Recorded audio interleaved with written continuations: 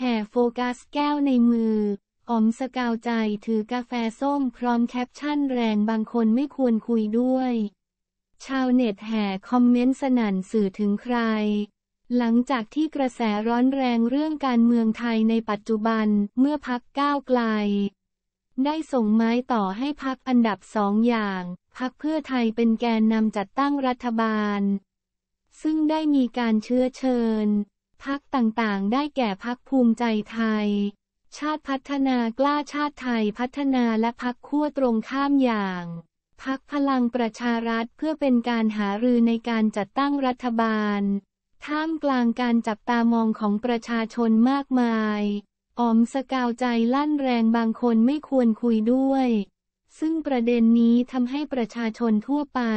และเหล่าคนดังต่างออกมาแสดงความคิดเห็นมากมาย รวมไปถึงอ๋อง สกาวใจดาราชื่อดังที่ผันตัวมาเป็นผู้สมัครสสกทม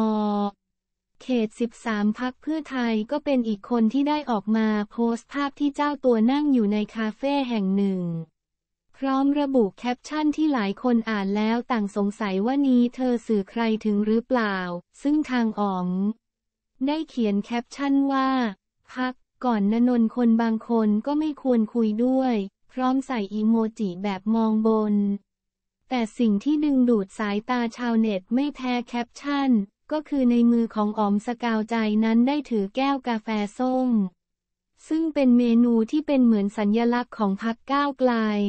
และหลังจากนั้นก็ได้มีชาวเน็ตเข้าไปคอมเมนต์ใต้โพสต์นี้มากมาย อาทิเหนื่อยใจกับพักแม่มาก รอแม่อ๋อมใส่สีส้มอย่างสง่าพาเอ๋ย หวังว่าพักจะคิดได้นะ แม่นะ มันไม่ไหวนะแบบนี้ กาแฟส้มครับ แม่ ขอบคุณที่เข้าข้างประชาธิปไตยครับ รอสมัยหน้านะครับ มาก้าวไปด้วยกัน กับปัญหาย่อมมีทางออก แต่ไม่ใช่บางคนที่เราควรลดตัวไปคุยกับมัน ผมเห็นด้วยเลยครับ คุณอ๋อมฝั่งประชาธิปไตยตัวแม่อีกคน